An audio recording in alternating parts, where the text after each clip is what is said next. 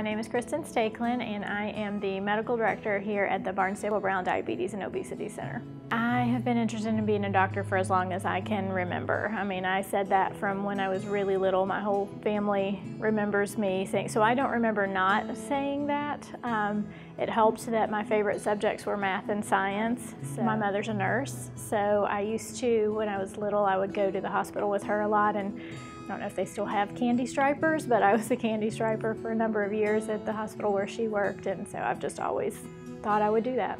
But I do just adult diabetes care, so that can be type 1 diabetes, type 2 diabetes, it can be um, folks who have diabetes because they have cystic fibrosis, gestational diabetes, um, Post-transplant diabetes is actually a fairly common thing, so I see some of that. You can come here for just education. You can just uh, learn some things from a nutritionist or a dietitian or how to take better care of your diabetes.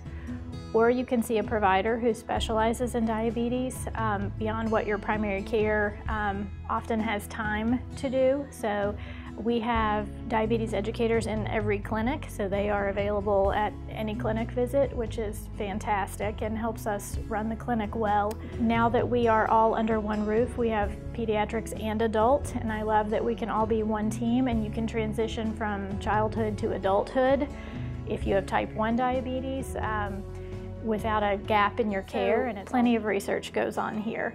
And uh, so we get to be a part of the research sometimes in clinical trials or studies, um, but we at least have access to research that's ongoing with academic medical centers. You always have learners around, so residents and students and fellows. Um, and you've got to stay on your toes to be able to teach you know, the most current and evidence-based medicine. So um, it's easy, I can speak from prior experience in private practice, it's easy just to get set in your ways and not always be as sharp as you should be on the most current issues. But when you know that a student is going to ask you about an article they just read, you better know what they just read. Um, you may have the world's most excellent primary care physician, but they've probably got about 20 minutes to take care of your diabetes, your hypertension, your lipids, your asthma, your depression, your back pain. And here we've got all the time for the visit focused just on your diabetes Another care. part of what I really like to do is to sit with the patient and say, this isn't black and white. We can go with this set of choices or this set of choices.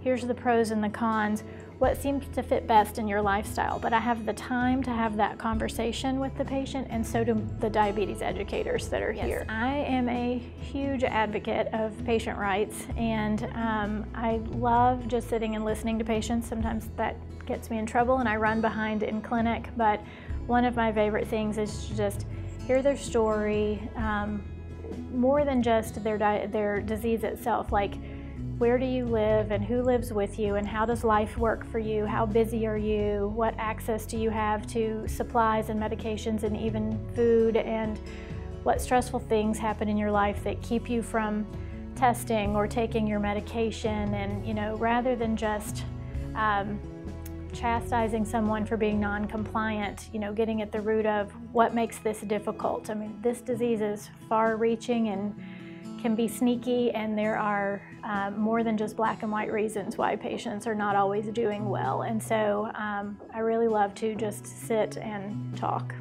So.